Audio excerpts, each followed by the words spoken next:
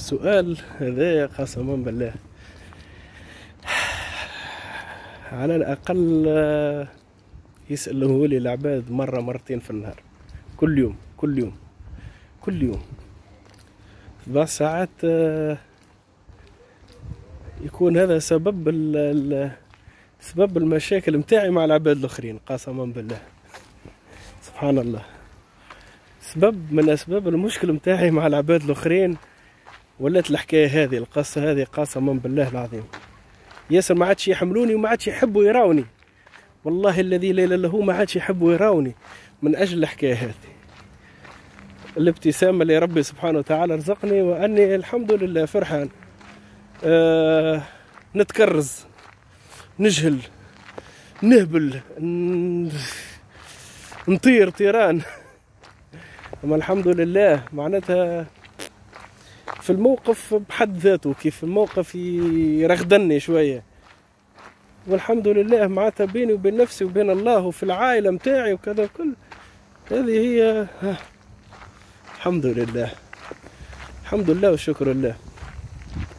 يقولوا لي الزر كيفاش انت حتى كل يوم تخدم ولا كذا أخي؟ ما عندكش مشاكل؟ ما- ديما متبسم ديما أمورك مريقلة علاش؟ كيفاش؟ قسما بالله. قل لهم الحمد لله والشكر لله. هي شنو الحمد لله والشكر لله؟ يا بيه شنو ال- جبت جديد ما عنديش مشاكل. بالحق ما الحمد لله ما عنديش مشاكل. الحمد لله والشكر لله. اللهم انعمت فزدت علاش حسب رأيك؟ ما نتمنى الشر لحتى عبد.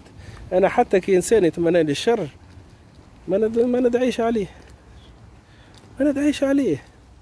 نقول هنا نزك امه القحبه هنا ابوه بوسر ممه كان يجي قدام امه القحبه نيكالو. ونجا منيك ندغر سر ممه نعدي فيه الزبي. تورني فيس عشرين ولا نعدي فيه مج... نعفس زك امه بمجرفه ما, ما ندعيش. وما نتمنالوش الشر. ناكلو امه وأنا ومن بعد نقول اللهم اشفيه وعافيه. فما توك عليه السر. مانيش شرير يا زبي. ما نسكتش على حقي أما مانيش شرير. مانيش شرير. نتمنى الناس الكل الخير. واللي تعدى عليا ناكلو امه direct مانيش منافق. عندك فما خصال فيا الحمد لله ربي رزقني بها. مانيش منافق. ما عنديش النفاق.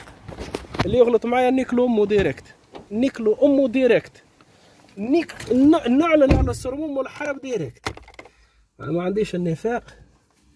وعندي الصدق وعندي نتمنى الخير للناس الكل.